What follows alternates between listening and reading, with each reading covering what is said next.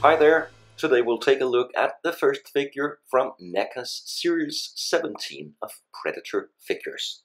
And this is another figure from the AVP movie or the AVP line of figures, the Elder. And here we have the Elder Predator inside the typical NECA style AVP box with the blue logo on the front, a bio about the Elder and the movie, and the other figures available in Series 17.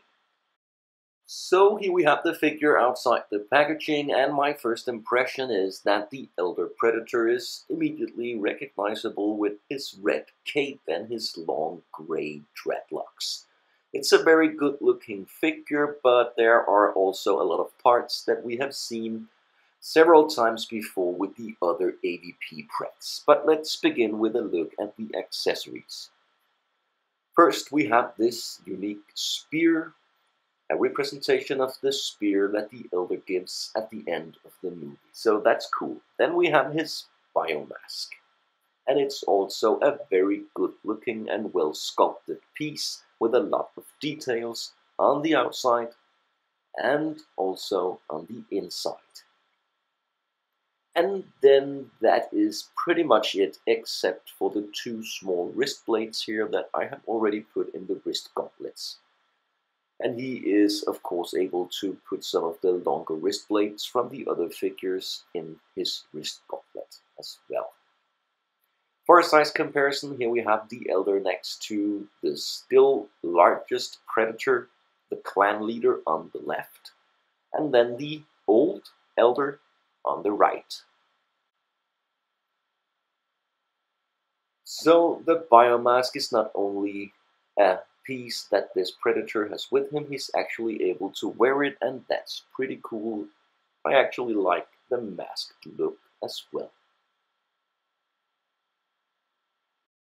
Let's proceed with the other details. Here we have the unmasked head, and I see no real likeness to the Elder Predator in the movie, but it's still a pretty cool head sculpt with a lot of cool details. And then he is one of the more heavier armored AVP Preds.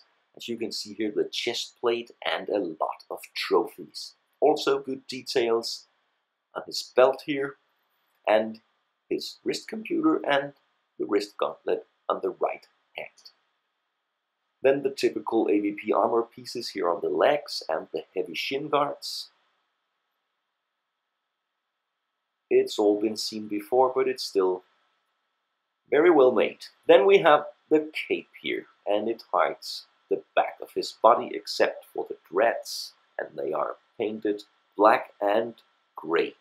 If we lift the cape, again we see the heavy armor here, and some of the parts that hinder the articulation, and we'll get back to that in a minute. But the cape itself, well, it's not articulated or with bendy wires or anything, it's just a cape and it's, I guess it's okay. It's removable technically because you can remove the head and then remove the cape afterwards we get pretty much the same articulation as all the other AVP Predators. The head doesn't move that much, I think, but we still get double-jointed elbows and double-jointed knees.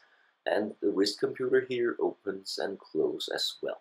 Well, we don't get that much movement from the upper part of the body because of the heavy armor, but there is still a little movement.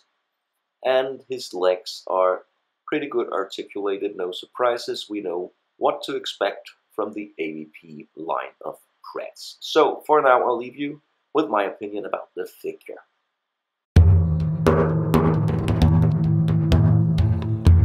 you.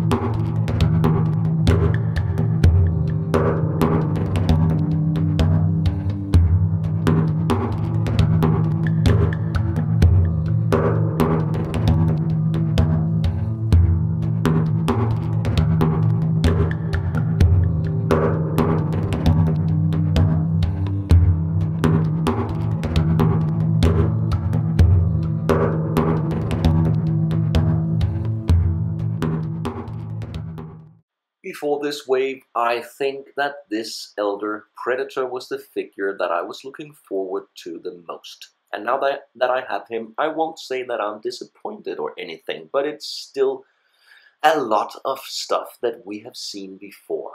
And also, there could have been a lot of extras that NECA decided not to include, like a short spear or extra hands. But with all that being said, I think the Elder Predator is a generally good figure, looks good on display with or without the biomask. So, in the end, I still recommend to pick up this figure. Thanks a lot for watching, leave a comment or subscribe if you'd like to see more.